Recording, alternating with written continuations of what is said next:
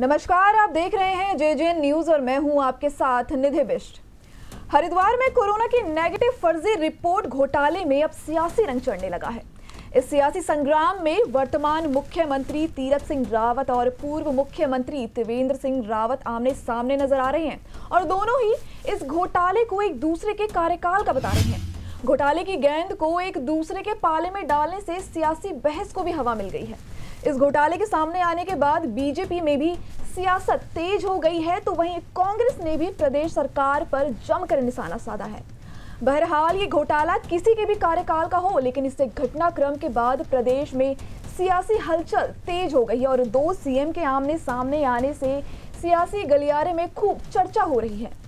हरिद्वार के कुंभ मेले का फर्जीवाड़ा यानी कि कोरोना नेगेटिव फेक रिपोर्ट का सच जब से सामने आया है, तब से ही कोविड जाँच फर्जीवाड़े को लेकर पूर्व मुख्यमंत्री त्रिवेंद्र सिंह रावत और मुख्यमंत्री तीरथ सिंह रावत के बयान अलग अलग नज़र आ रहे हैं।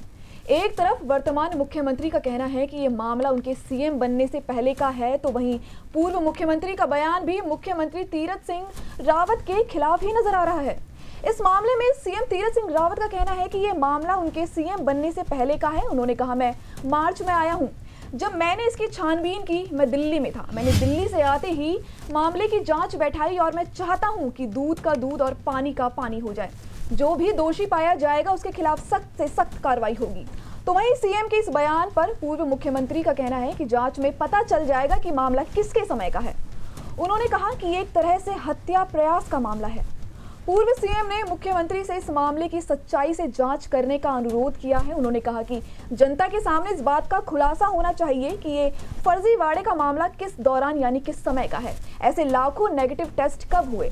पूर्व सीएम यही नहीं रुके। उन्होंने आगे कहा कि मुझे ऐसा ध्यान है कि कोर्ट ने राज्य सरकार को निर्देश दिए थे, इसमें टेंडर हमारे समय में नहीं हुआ। यदि टेंडर हुआ होगा तो मेला प्रबंधन के द्वारा हुआ होगा। नोटिफिकेशन हमारे समय में हुआ था जो 1 अप्रैल से 30 अप्रैल तक का था। इस घोटाले में अब प्रदेश कांग्रेस भी कूद गई है। कोविड जाँच फर्जीवाड़े में मुख्यमंत्री तीरथ सिंह रावत और पूर्व मुख्यमंत्री त्रिवेंद्र सिंह रावत के बयानों पर कांग्रेस ने प्रदेश सरकार पर निशाना साधा है। पार्टी ने कहा कि दोनों नेताओं के बयान से प्रदेश सरकार कटघरे में खड़ी हो गई है। पार्टी के प्रदेश उपाध्यक्ष सूर्यकांत धस्माना ने कहा कि इस पूरे प्रकरण में बड़े लोगों के लिप्त होने की पूरी आशंका है। तो फ़िलहाल आज की इस खबर में बस इतना ही। बाकी की खबरों के लिए बने रहिए जे जे न्यूज़ के साथ। नमस्कार।